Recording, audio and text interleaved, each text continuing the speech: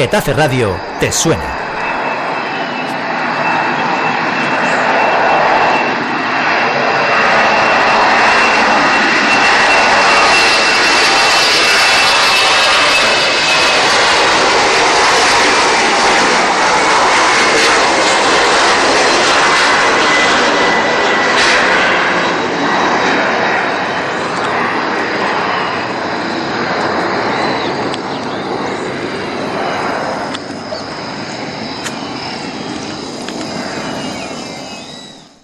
Getafe despierta.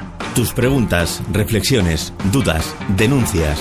En Getafe Radio te ofrecemos la posibilidad de que sean oídas. Getafe Radio, la emisora de ámbito local que te trae las noticias de tu ciudad contada por sus protagonistas. De lunes a viernes, de 10 a 1, las mañanas de Getafe Radio. Descarga tu aplicación de Getafe Radio en la tienda de tu móvil y escúchanos. Getafe Radio te suena.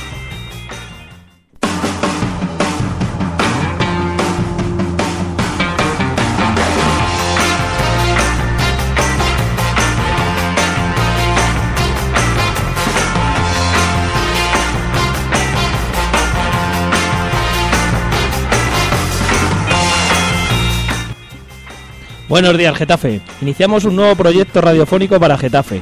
Una radio online que pretende ser un espacio de debate, análisis, información y entretenimiento para la mal llamada capital del sur de Madrid. Getafe Radio es un proyecto personal, creado por personas ajenas al mundo de la comunicación y la información. Vecinos, que con un amplio bagaje a cuestas deciden crear un nuevo altavoz donde todas las voces tengan su espacio. Un espacio libre, un espacio independiente, un espacio plural. Una radio respetuosa con los creadores. Solo podrás escuchar música con licencia Creative Commons. Una radio no comercial, donde pretendemos dar a conocer a los comercios y negocios de Getafe. Una radio respetuosa con los profesionales de la comunicación, nuestros periodistas, parte fundamental de una sociedad que pretende ser democrática. Getafe Radio no se considera heredera de ningún proyecto anterior, aunque las personas que lo forman quieren haber aprendido de los errores cometidos en el pasado. Getafe Radio quiere agradecer públicamente a Getafe Voz la ayuda prestada por esta asociación en el desarrollo de este proyecto y espera que esta colaboración continúe en el tiempo. Nuestra emisora solo contará con tres programas. Uno deportivo, Getafe en forma, uno vespertino, Buenas tardes Getafe, y este que todas las mañanas a las 10 pretende acompañarles en el debate, en el análisis y la reflexión de lo que sucede en el principal protagonista de nuestra emisora, Getafe. Arranca, Getafe despierta.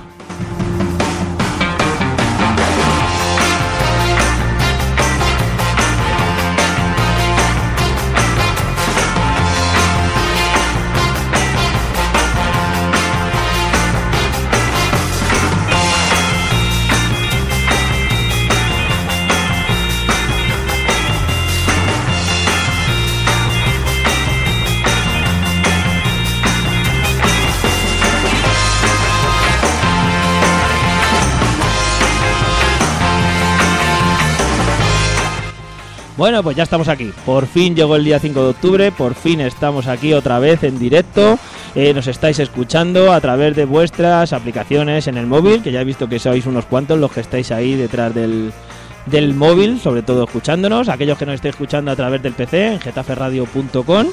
¿Vale? Y aquellos que podéis escucharnos, ya sabéis, estamos en iTunes, en TuneIn, eh, nos podéis vais a poder escucharnos en Ivos, en SoundCloud. Bueno, creo que estamos en casi todos los sitios. Si nos falta alguno, no tengáis problema, nos mandáis un WhatsApp, ¿vale? Al 628-270526 y nos decís dónde más podemos estar. Que nosotros queremos estar en todos los sitios. Pero sobre todo queremos que nos escucháis. Eh, bueno, pues aquí arranca el primer programa de Getafe Despierta. Eh, a los controles y a los mandos tenemos allí a don Jesús Blanco. Buenos días. Buenos días. Buenos días. ¿Se me escucha bien? ¿Ya se te han pasado los nervios? No, No, todavía no. no. Todavía estamos aquí los nervios liados. Pero tú es que te pones de los nervios con nada, de todas las formas. Desde las 7 de la mañana. Llevo Sí. de- de- llevo Pare- parecemos nuevos, ni que fuera la primera vez que lo hemos hecho esto. Sí, tienes razón, tienes razón. Venga, pues vamos a ver si vamos empezando, que tenemos una mañana muy ajetreada, que tenemos ya aquí a nuestros primeros invitados con los cuales vamos a romper el fuego de las tertulias, unas tertulias que esperemos que puedan entretener a todos a todos mucho y sobre todo, eh, bueno, que consigamos que haya ese debate y esa reflexión que queremos sobre tantos asuntos que, que se plantean en nuestro municipio, en, en Getafe. Eh, Jesús, ¿se me olvida decir alguna cosa más antes de empezar y presentar a nuestros invitados? Pues no, lo que pasa que voy a contarlo. El jueves hicimos una prueba y hablamos con, con va- varias personas. Si te parece, escuchamos lo que nos, lo que nos dijo el jueves. Venga, vamos con ello.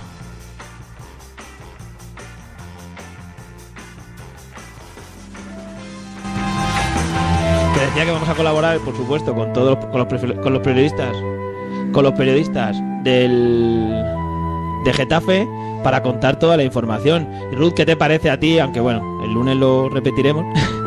el, ¿Qué te parece que exista o que haya un nuevo medio de comunicación en este caso hecho por no profesionales?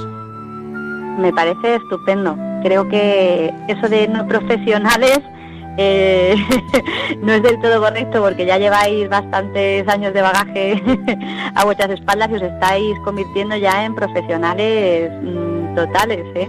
Así que me parece estupendo porque lo importante es que haya medios de comunicación en los que se puedan escuchar todas las voces de los ciudadanos de Getafe. Efectivamente, vivimos en un mundo tan global que estamos infravalori- infravalorizando los, los mercados pequeños, como es el caso de la información en, en municipios como el nuestro. Y creo que, que tienen, los profesionales tenemos que volcarnos para que se ponga en valor la información de nuestros pueblos. Pedro, ¿qué te parece que volvamos a poner en marcha un proyecto radiofónico donde, bueno, donde todos los vecinos puedan tomar la palabra? A mí me parece bien donde no hay prensa, donde no hay radio, donde no hay comunicación en el país que carece de esto, carece de libertad. Por lo tanto, lo que signifique medios de comunicación, ya sean escritos, ya sea vía redes sociales o radio, televisión, siempre me parece bien. Si además los vecinos pueden participar y por lo tanto poner de manifiesto sus inquietudes, doblemente mejor. Donde vuelvo otra vez a decir, allá donde no hay medios de comunicación, no hay libertad. Se piensa que, bueno, pues que un municipio como Getafe, pues que genera cuatro noticias. Eh, Para nada. a- a- al Ahí mes. vamos, o sea, Getafe es uno de los municipios del sur que más noticias genera y, y- y si quieres informar y hacerlo bien tienes que dedicarle mucho tiempo. Eh, Los pocos periodistas que quedamos en activo en la zona sur de Madrid estamos en esto porque, porque amamos la profesión y porque esto es vocacional. Eh, los sueldos dan para sobrevivir y poco más. Esto lo hacemos los que de verdad, los que de verdad creemos en el, en el periodismo local y en la información. Y aquí estamos unos cuantos locos en Noticias para Municipios intentando sacar este proyecto adelante.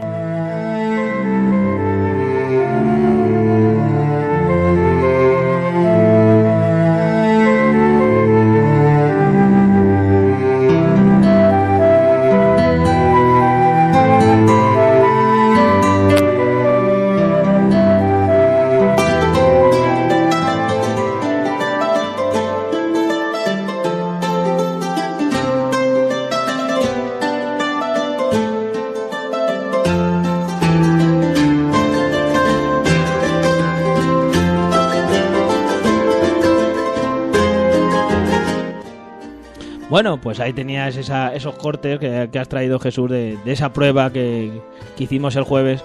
Que bueno, que más adelante, un día tranquilamente, ya la pondremos entera porque tuvo unos momentos muy, muy graciosos, que estás uno probando las llamadas telefónicas. Y bueno, escuchábamos a, una de, las personas que hoy tenemos aquí en el estudio, que nos va a acompañar hoy en esta primera tertulia, que le tenemos que dar las gracias por, por estar aquí, por cogernos el otro día el teléfono, que el otro día llamamos a la gente así, ala, venga, sin saber que les íbamos a llamar y nada. eh, Ya os digo, salieron cosas muy graciosas que algún día las pondremos, lo prometemos. Ruth Holgado, periodista de noticias para municipio.com. Hola, buenos, Buenos días. días. Buenos días a todos. Eh, estábamos hablando de, en esa conversación, en ese extracto que, est- que estaban escuchando ante nuestros oyentes, de la información que puede llegar a generar Getafe. Sí, la verdad es que ya lo decía el otro día, lo repito hoy, Getafe es un municipio que genera una cantidad de información que la gente eh, no, no, yo creo que no, no es consciente de ello. Entonces, para dar una cobertura a este municipio, un municipio con las dimensiones de Getafe, hay que dedicarle mucho tiempo y, y muchas horas.